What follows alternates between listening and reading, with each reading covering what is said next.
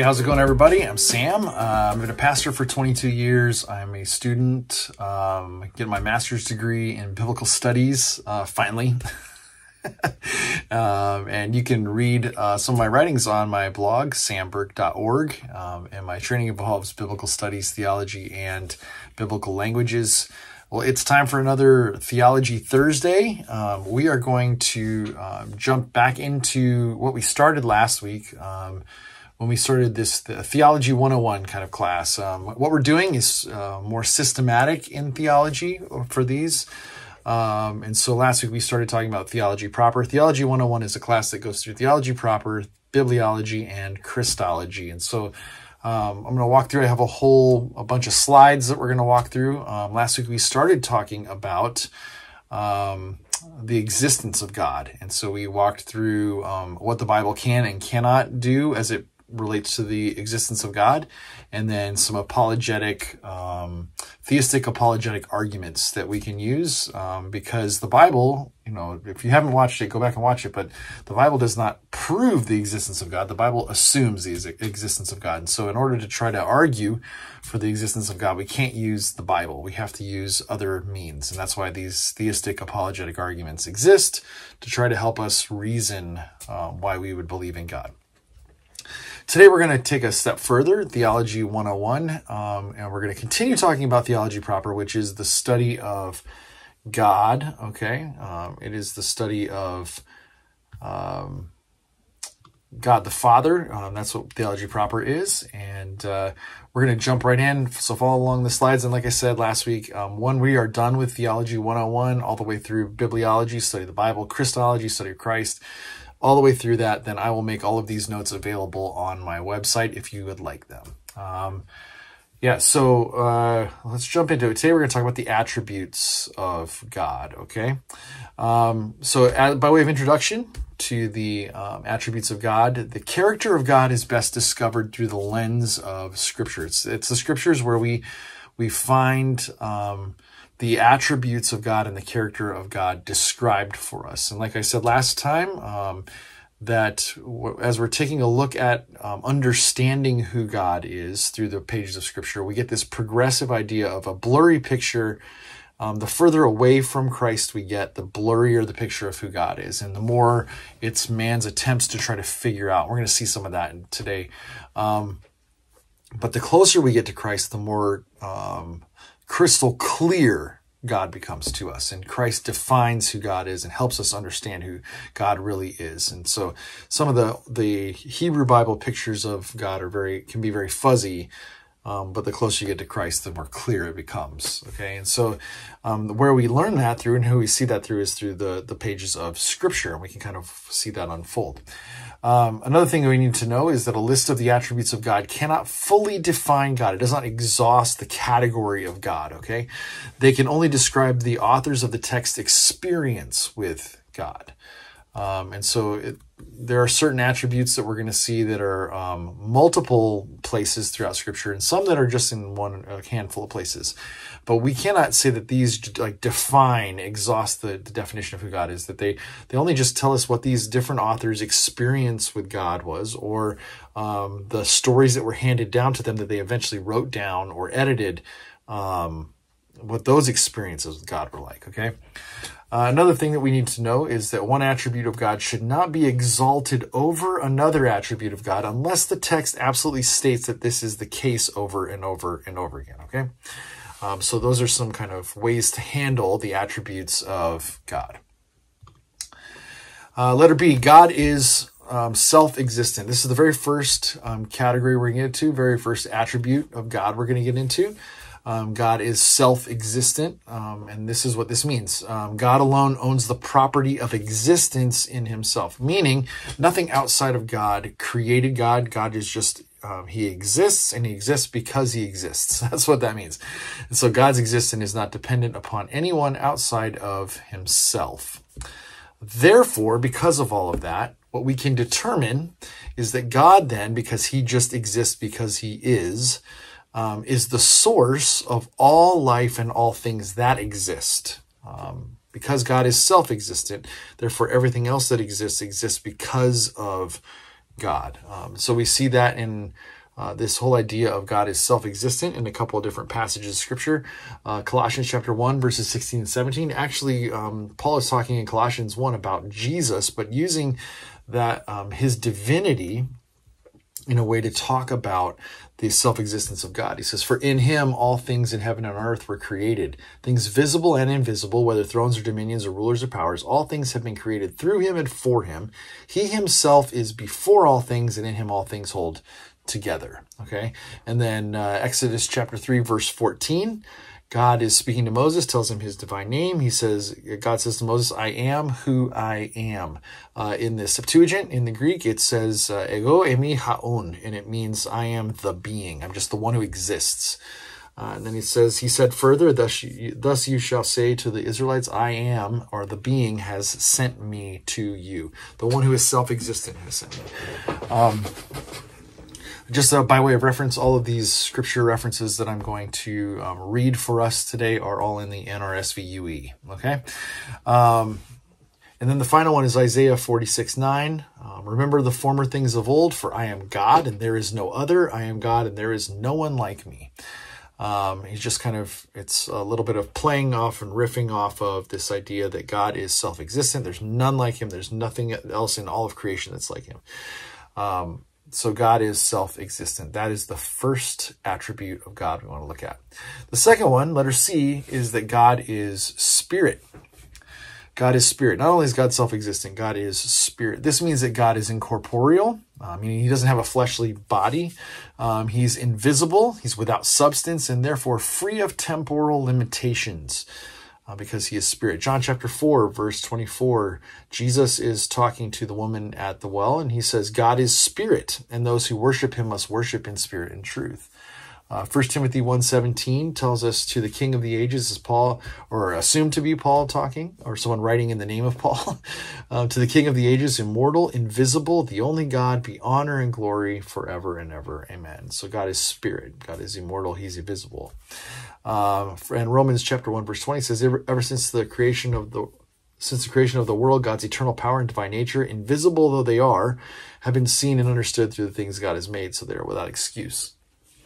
And so, uh, even though God is spirit, what we can understand through the pages of scripture as he has revealed himself to humanity over time is that God is, is spirit, but he is personal.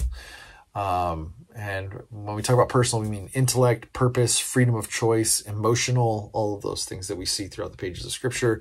Um, God is spirit, but he is personal. Uh, third point under there, the invisible essence of God has never been observed by humanity. No matter what the um, Hebrew Bible actually talks about, we're going to talk about this in a second. Um, the New Testament clears up some things about the fact that um, God is in is spirit, and because He's spirit, there He has an invisible quality to Him. They've never really been seen. There's no face of God, like that kind of stuff. So um, we learn that through the New Testament. First Timothy uh, chapter 6 verse 16 says it says this it is he alone who has Im- immortality and dwells in an unapproachable light whom no one has ever seen or can see to him be honor and eternal dominion and like i said this could be paul this could be someone writing in the name of paul later on um, John chapter 1 verse 18 says this, John writes, no one has ever seen God. It is the only son himself, God, who is close to the father's heart, who has made him known. Um, so Jesus is the one who makes God known to us. That's what um, John is trying to communicate there. And no one has ever really seen God. Um, and then Hebrews chapter 11, verse 27, by faith he left Egypt unafraid of the king's anger, talking about Moses, for he persevered as though he saw him who is invisible, as though he saw him. Um, it says in, in the Hebrew Bible, you go back through it and it says, you know, um, Moses saw God face to face as like a friend sees someone face to face. And there are many different times where that is attributed in there. So then the question pops up, of course, okay, what about those anthropomorphisms in the Old Testament? Um, an anthropomorphism is a human-like quality given to something that's not human. Um, and so the Bible, especially the Old Testament or Hebrew Bible, contains several figures of speech that give God human attributes called anthropomorphisms. Uh, some of these, um, I'll just read these quickly. Exodus chapter 7, verse 5. The Egyptians shall know that I am the Lord when I stretch out my hand against Egypt and bring the Israelites out from among them. Um, God is spirit, so he doesn't have a hand, but he stretches out his hand here. Uh, Numbers chapter 6, verses 24 and 25. The Lord bless you and keep you. The Lord make his face to shine upon you and be gracious to you. Um, another anthropomorphism. Uh, Psalm 33 6. By the word of the Lord, the heavens were made, and all their hosts by the breath of his mouth. Uh, another anthropomorphism. Uh, Psalm 34 15. The eyes of the Lord are on the righteous, and his ears are open to their cry. Eyes and ears of the Lord, um, anthropomorphisms.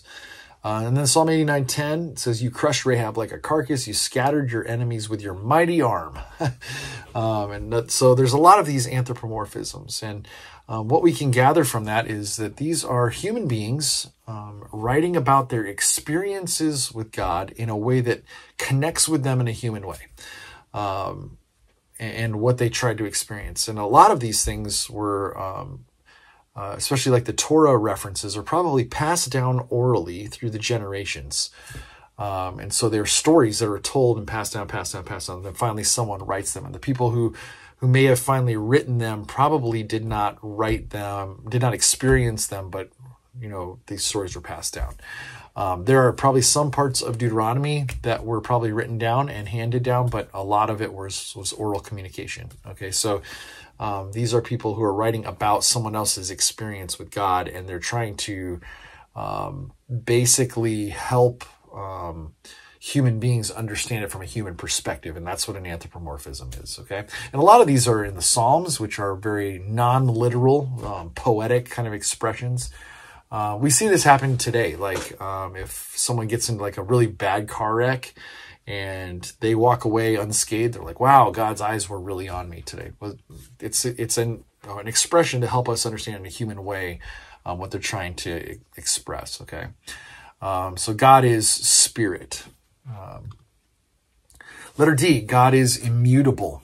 God is immutable. It's another attribute of God. God. Immutability is the doctrine that states God's character is not subject to change. Okay. And that's an important understanding. God's character is not subject to change. That's what immutability is.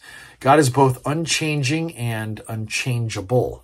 Um, another thing that we can understand from this doctrine is that God never changes in his essence or in his character. Okay, Malachi 3 6. Um, Malachi, quoting God um, as a, one of his prophets, says this For I, the Lord, do not change. Therefore, you, O children of Jacob, have not perished. Um, uh, Psalm 33, verse 11 says this The counsel of the Lord stands forever, the thoughts of his heart to all generations. Uh, James 1.17 says this, says every generous act of giving with every perfect gift is from above, coming down from the Father of lights, with whom there is no variation or shadow due to change. Okay. And then Proverbs 19:21 says the human mind may devise many plans, but it is the purpose of the Lord that will be established. Meaning we can change our plans, we can change our mind, we can do all kinds of things, but God's purpose is eternal. Um, is what uh, that is trying to that proverb is trying to um, tell us. Um, and so here's here's the deal with this. God may deal differently with pe- different people at different times, but he does not alter his purposes uh, or change his nature. Okay, he does not alter his purposes or change his nature. So then the question automatically comes up when you talk about the immutability of God. The question comes up, well, what about in those um, Hebrew Bible Old Testament passages on um, God relenting or repenting? Um, so here's the deal. Immutability, this idea that God does not change, remember, is the doctrine that states that God's character is not subject to change. In the book of Exodus, when um, it said that Moses is meeting with God, God passes in front of him and he says that I am, uh, I am Yahweh, Yahweh, the the compassionate and gracious God, um, slow to anger, abounding in love, faithfulness, and mercy. Right? Um, forgiving um, is one of the character traits of God. And so God states right from the beginning, this is who I am. This is my character. His character is compassion. His character is mercy. Uh, there are a few different times where um, in the in the Hebrew scriptures it says that God relents or he repents of calamity that he's about to bring onto people. One of those is Jonah. Um, and famously, Jonah um, is upset at God and runs away from him because God says, go and preach to Nineveh. Um, Nineveh repents. Jonah gets mad about it. And the reason he gets mad is, he quotes to God, he says, I knew that you would relent. I knew you would change your mind about all of this because of your character, because of who you are. You are a compassionate, gracious God, slow to anger, abounding in love and faithfulness and mercy and all that kind of stuff. Um, you're forgiving to the core. You that's your character trait. Um, and so when we see these ideas of God relenting or repenting in the Hebrew Bible, what we are seeing is actually God playing into his character. So it doesn't challenge his immutability um, that he doesn't change. It's that he changes according to his character, and that is immutability. Okay. Um, God's character is not subject to change. Uh, all right. Next one, uh, letter E. Another attribute of God is that God is holy. Okay. Uh, God is holy. The number one, the Hebrew term kadesh and the Greek term hagios um, uh, mean to set apart or to make holy. Okay. Um, so in the in the Hebrew Bible, Kadesh means to to be set apart, and Greek Hagios means to be uh, to make holy and to be set apart. Um, God is set apart from his creation. That's what we see through the scriptures. God is set apart from all that is morally unclean. And God is not only set apart from all that is evil, but he is set apart to all that is good. Um, and so when we talk about the holiness of God, we're not just talking about God being set apart from that those things that are evil. We're talking about God being set apart to all the things that are good. Okay, so God is holy, therefore he is good, therefore he is set apart from all that is evil and set apart to what is good. Okay, and set apart from his creation, anything that's morally unclean. That's what we talk about when we talk about God is holy. Uh, the next uh, part of this, number two, God possesses absolute perfection. We see that through the scriptures. Um, and God's standard is perfection. Uh, number three, holiness is an indivisible part of God's character and is not altered in any way by his dealings with humanity. So, um, even though God kind of gets down in the, the mud with us, he does not get dirty. That's kind of uh, an easy way to put that, okay? Uh, God cannot violate his holiness, and God's standard of holiness is what defines his justice. And so that's what's important for us to understand. And number four, God's holiness guarantees the unchanging character of his covenants. When God makes a covenant, his holiness is what guarantees that those things won't change. Um, so God is holy. Uh, letter F, God is just. This is another attribute of God. God is just. Um, that means this God is fair, equitable, and righteous in all of his dealings. Um, and so, if holiness concerns the character of God, then justice deals with the expression of that character in his dealings with humanity. Okay? Um, holiness concerns the character of God, who he is set apart from all these things. Then God's justice comes in and deals with the expression of that character of holiness in his dealings with humanity.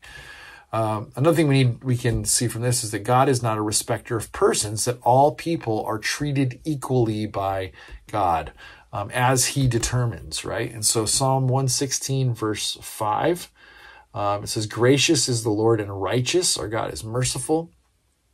Um, and I think right there that uh, righteous, meaning he is uh, fair, equitable, righteous in all of his dealings with mankind. He's merciful, he says. Um, Psalm 145, verse 17 says this The Lord is just in all his ways and kind in all of his doings. Uh, Romans 2:11 says this. It says, "For God shows no partiality," meaning that God doesn't pick and choose. He's he's equally um, fair, equitable, and righteous in all of his dealings with mankind. God is just. Um, and so what we see through scripture is that God's justice works with his compassion and his forgiveness, not against it. Um, and so we, we need to, to see that, um, his, his justice in light of working with his compassion and forgiveness, not juxtaposed to it. Okay. Um, so God is just. Letter G, God is love. I think this is one of the most famous attributes of God and one that gets quoted all the time. Um, but, and, and I think rightly so. And I think this might be a key characteristic. We said that, you know, we can't elevate one above the other one except for maybe this one, because this one is um, spoken of over and over and over again in the scriptures, especially New Testament, about who God is. Okay. Liturgy, God is love. Definition, God desires what is best for humanity. His, his love is shown in his desire for what is best for humanity. Um, and so what is the nature of God's love? Well, the nature of God's love first is that it is unselfish it's unselfish. First John uh, chapter 3 verse 16 says this, we know love by this that he Jesus laid down his life for us. And we ought to we ought to also lay down our lives for the brothers and sisters. Um, so it's unselfish. He laid down his life. Uh, Romans 5 8. But God proves his love for us in this, is that in that while we were still sinners, Christ died for us. Um, and then 1 John 4, 7 and 8 says, Beloved, let us love one another because love is from God. Everyone who loves is born of God and knows God. Whoever does not love does not know God, for God is love. It's a, this unselfish, uh, motivated by um, wanting what's best for humanity kind of love. Okay. Uh, second, God's love, the nature of God's love is it is volitional, meaning it it's a choice of the will on our part. He's not forcing us with His love. It's it's a, um, a, an offered love, and there's a choice of our will on our part to love him back. Okay, so Matthew chapter 22, verses 37 to 39. Uh, Jesus said to those people, He said, You shall love the Lord your God with all your heart, with all your soul, with all your mind. This is the greatest and first commandment. And seconds like it, you shall love your neighbor as yourself. It's a choice of the will to love God. Uh, Deuteronomy chapter 6, verses 4 through 9, very similar. This is the Shema in the um, in Deuteronomy. It says, Hear, O Israel, the Lord our God, the Lord is our God, the Lord alone. You shall love the Lord your God with all your heart, with all your soul, and with all your might. Keep these words that I am commanding you today in your heart. Recite them to your children. Talk about them when you are at home, when you're away, when you lie down, and when you rise. Bind them as a sign on your hand. Fix them as an emblem on your forehead. Write them on the doorposts of your house and on your gates. Okay. Um, it's so God's love is volitional. It's a, a choice of our will to um, he offers love and he says i want you to choose to love me um, it is everlasting. That's the nature of god's love. Jeremiah 31 3 the lord appeared to him from far away. I've loved you with an everlasting love. Therefore i've continued my faithfulness to you. Um, it's everlasting. God's love endures forever. It's an everlasting love. Um, the next part of God's love is this. It's not only the nature of God's love, but who are the objects of God's love? Uh, well, first and foremost, the objects of God's love are the Son, uh, Jesus. Uh, John 3.35 says this, the Father loves the Son and has placed all things in his hands. Um, John 17.24 uh, says this,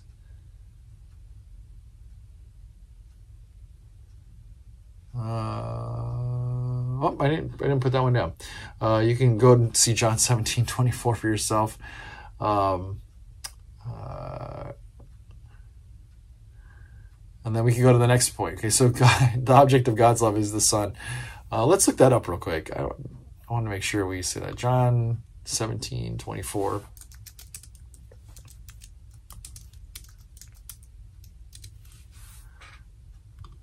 This is what it says. It says, uh, Father, I desire that those also whom you have given me may be with me where I am to see my glory, which you have given me because you loved me before the foundation of the world. Okay, that's John 17, 24.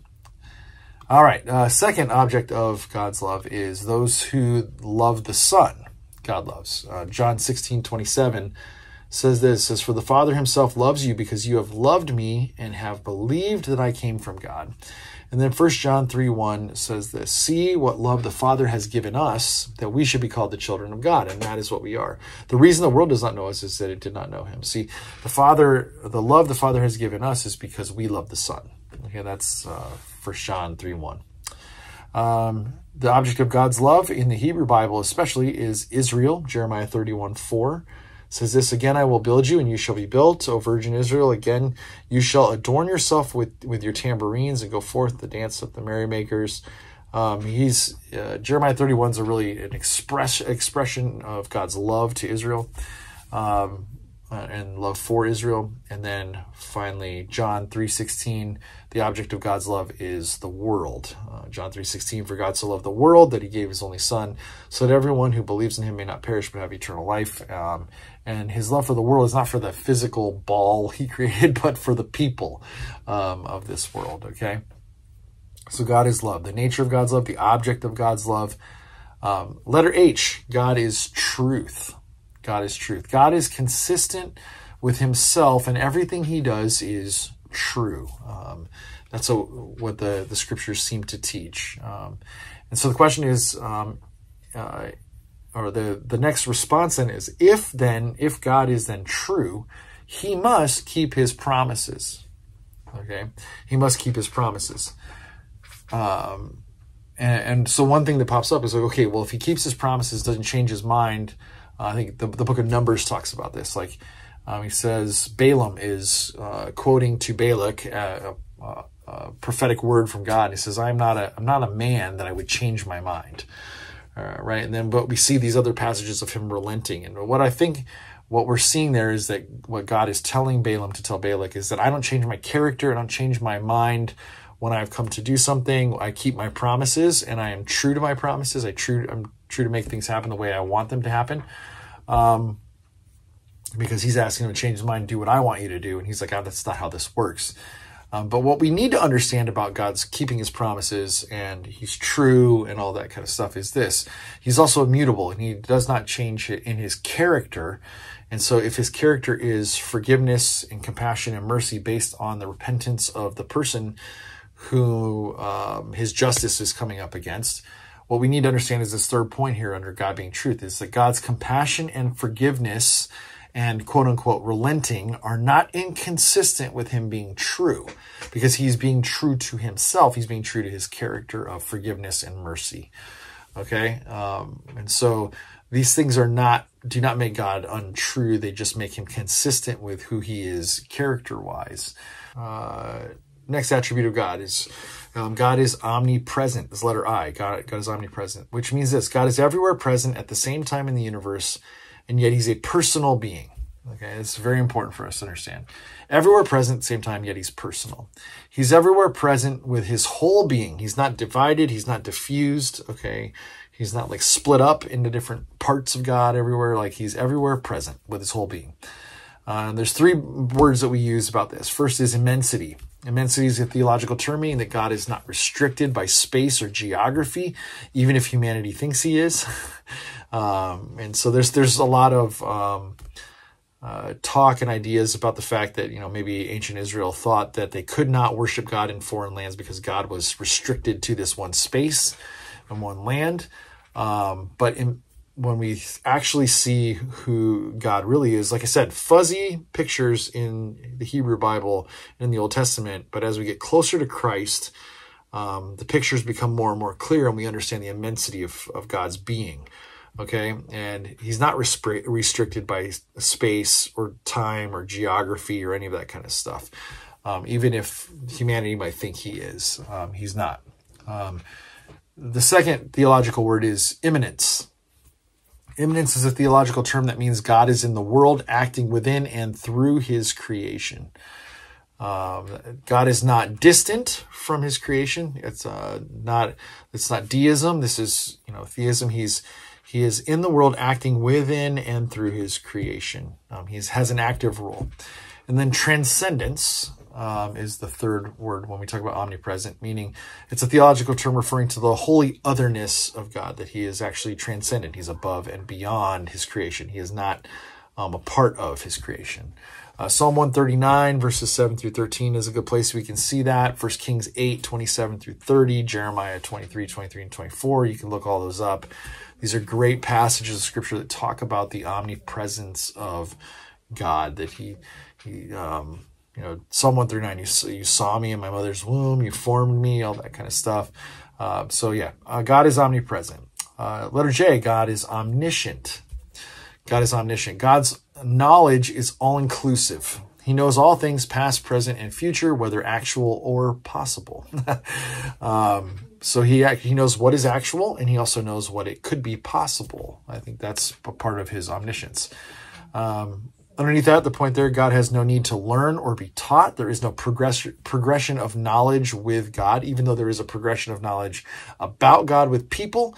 There is no progression of knowledge with God. God is not somehow having to learn new things. Okay, and so Romans chapter eleven verses 33 through 36 is where we see um, this whole idea. Is, uh, Paul writes this. He says, "Oh, the depth of the riches and wisdom of and knowledge of God! How unsearchable are His judgments! How inscrutable His ways! For who has known the mind of the Lord, or who has been His counselor, taught Him anything?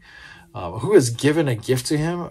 To receive a gift in return, like who can give God anything, who can teach God anything, who is who can understand all of his judgments, all of his wisdom, all of his knowledge are so far beyond um, who we are. That's what Paul is trying to write here in this in the doxology there. Um, meaning God's knowledge is perfect. God has perfect knowledge. Okay, it's all inclusive knowledge, past, present, future, actual, or possible. Uh, God knows all the free actions of man and what went into making those choices. This does not rem remove humans' free will to choose, just that God is omniscient, even in his foreknowledge of things that are actual or possible. Okay.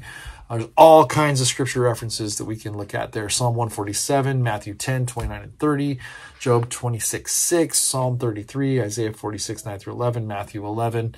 Um, and like we said, we're doing systematic theology, so we are um, we are using a, a framework that is multivocal, okay, or not multivocal, univocal, trying to pull together different passages of scripture all over the, the Bible, um, and unapologetically doing so. Okay, that's what systematic theology is anyway. Uh, so God is omniscient. Um, God is omnipotent, letter K.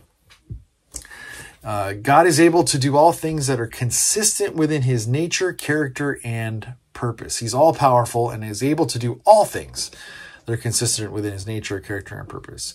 Um, there are things that, some things that God cannot do though. And there are four, uh, four things that I want to put down here. Uh, number one, he cannot deny himself. Okay, Second Timothy chapter 2, verse 13 tells us that. Um, it says, If we are faithless, he remains faithful, but he cannot deny himself. Um, uh, God cannot lie. Titus uh, chapter 1, verse 2 it says, In the hope of eternal life, that God, who never lies, promised before the ages began. God can He is truth, and so He cannot lie. Um, uh, so where it looks like you might want to go, well, I think God might lied here. God did not lie. There's something else going on there because God does not lie. Uh, God cannot sin. Okay, sin is the, the word hamartia. We'll get there in theology 2 or 301 way down the road um, when we get to this the theology of hamartiology, which is the, the theology of sin. Um, but is that word um, hamartao, which mean or hamartano, which means um, to sin or I sin. Um, James 1.13 is the scripture passage there, which says, No one when tempted should say, I'm being tempted by God, for God cannot be tempted by evil, and he himself tempts no one. God cannot commit evil. He does not sin. Uh, and then anything else in opposition to God's character or nature are things that God cannot do. God cannot go against his character. God cannot go against his nature. Everything else God is able to do, as long as it's consistent with his nature, character, and purpose. Okay? Uh, and then finally, um, under God is omnipotent. God's omnipotence is manifested in five different areas in creation, in nature, in history, in heaven, and redemption. Um, and you can look up all those verses right there Jeremiah 10 12 for creation, uh, Jeremiah 10 13 for nature. Um, he, he kind of goes one to the other. Um, overall of history, Daniel 4 17, Romans 13 1 through 7. Um, over heaven, Daniel chapter 4, verses 34 and 35, and then redemption, um, Ephesians chapter 1, verses 18 through 24. Uh, so, in summary about the attributes of God, this has been a 30 something minute video, so I knew this was going to be a long one. Uh, we discover discover the attributes of God best through the lens of the pages of Scripture as the individual authors and characters experienced God. Okay, um, and then the second point of summary for this is this list is not an exhaustive concordance on the character and nature of God, but gives us a beautiful framework to see and understand God through. Well, I hopefully this was um, beneficial for you as you uh, start thinking about theology and we start talking about the attributes of God, who God is, and how we see that through Scripture. Um, uh, the next video that we'll talk about on Theology Thursday is we're going to talk about um, the names of God that we see all throughout the Hebrew Bible and through the New Testament. Um, excited to do that. Uh, um, hopefully, like I said, this was beneficial for you. Like, subscribe, comment, and I'll see you in the next one.